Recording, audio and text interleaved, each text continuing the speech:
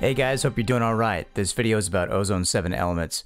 What I wanted to point out in this is the fact that Ozone 7 Elements does what I think it's going to, for me, what it would do for a lot of people is that not all of us are necessarily these uh, wizards of mastering. It's a very extensive, very detailed process that I think takes a lot of years, a lot of honing in on, on a lot of tricks and a lot of understanding of the music and understanding of the dynamics that the artist is trying to reach what kind of appropriate ways to sort all of that out. So presets as sonic inspiration. I like how they put this inside of the user manual. The Ozone 7 Elements features a preset manager that allows you to quickly and easily find the right preset to help you polish up your final master.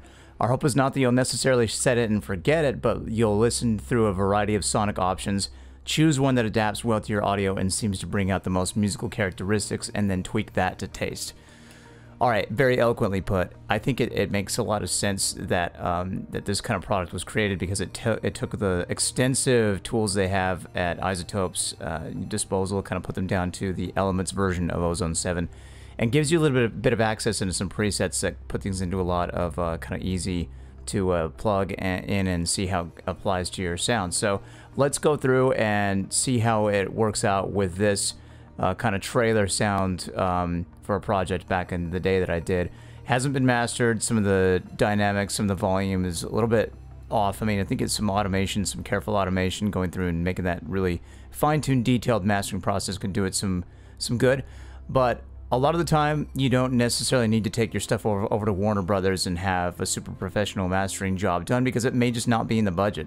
Uh, sometimes it is, sometimes it's not. Hopefully, we have the access to do that all the time, but sometimes they just, you work with a director and they say, well, the budget's pretty small, uh, and we actually like what you've given here, and uh, it may not need all that much further to go. So, as long as you, the artist, are happy with what's coming out on your end and the director's happy, then chances are the audience is going to be happy too. So, but without any further ado, let's look at Ozone 7 Elements and I'll show you kind of what's going on here. It's kind of an actiony track. Preset is on increased presence.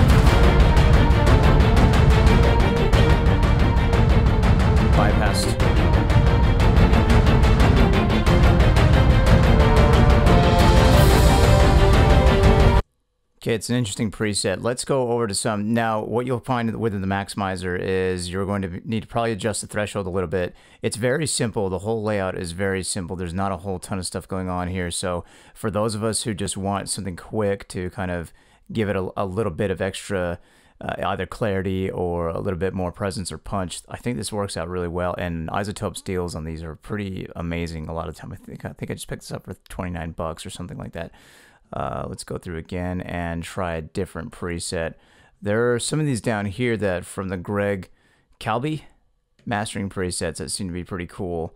Let's uh, start that up again and get some bypass AB comparison.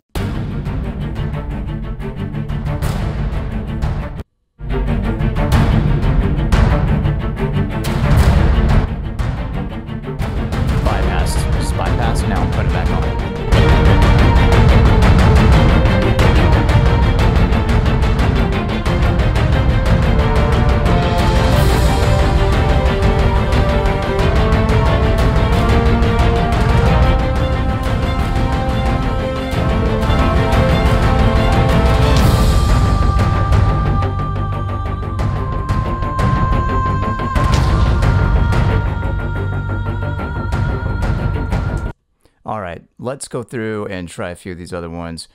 The quick limiting one as an example of one that you probably don't want to. I mean, depends on the mix itself, but for this one, I wouldn't keep it. You can hear that some of these just simply don't apply the right way, and which is cool about it because they've kind of given you these basic presets that you can do a few minor tweaks within the dynamics and EQ and the threshold, of course, and then that's going to make a big difference. But for example, this quick limiting, I found this one was really squashing it.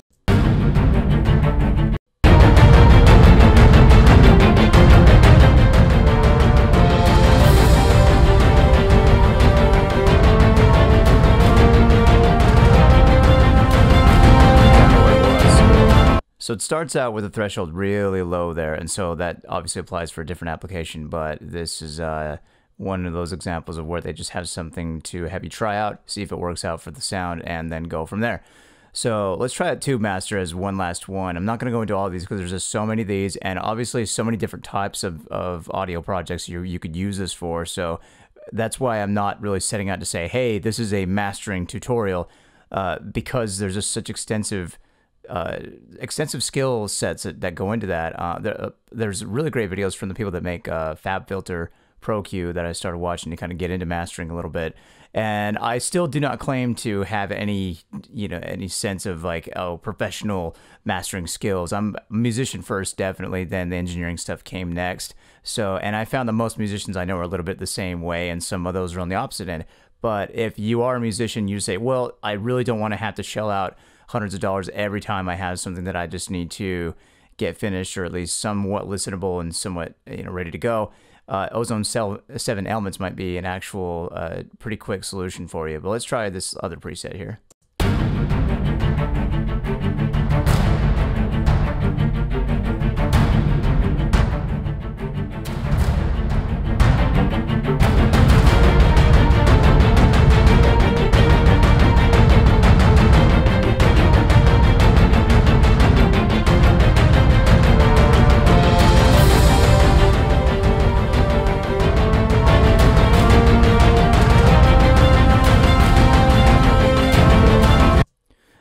There's also the imager that they make that spreads things out a little bit. This doesn't come with anything to widen it out, except they do have, I believe, one further in here that kind of widens the stereo field. Uh, let's see where I found it before. I may or may not find it again. Um, things like simple glue kind of add a lot of presence. At least it seemed that way to me. I mean, you kind of have to go through and get familiar with them and see how they actually. Okay, high detail wide was the one I was talking about. Let's try that.